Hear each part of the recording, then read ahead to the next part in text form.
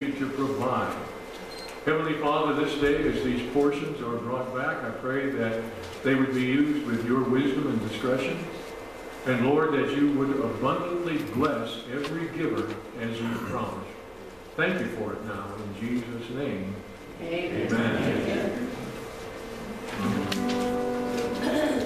When Rick let me know that I was going to be doing special music today, there was a tune that just almost immediately came to my mind, and it just stayed there over and over again.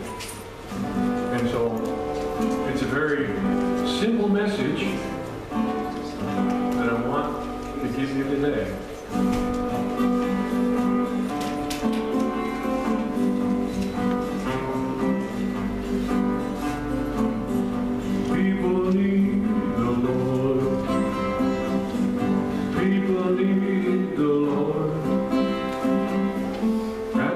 yellow the road.